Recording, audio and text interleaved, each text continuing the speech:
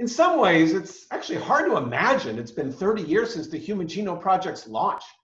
when so many of my memories are incredibly vivid and make me feel like it happened like just a few years ago. At the same time, I'm also astonished by how far we have come in 30 years and how we can now begin to see how genomic medicine will be implemented. To be totally candid, when I decided to get involved in genomics and to train in laboratory medicine a little over three decades ago, I had assumed the use of genomics in medicine would be something that the next generation of physicians and scientists would make happen.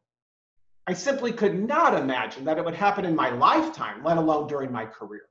So, witnessing genomics become widely disseminated across biomedicine and genomic medicine implemented in meaningful ways to improve clinical care is profoundly gratifying and reaffirms the brilliance of those who had the vision to organize and launch the Human Genome Project 30 years ago.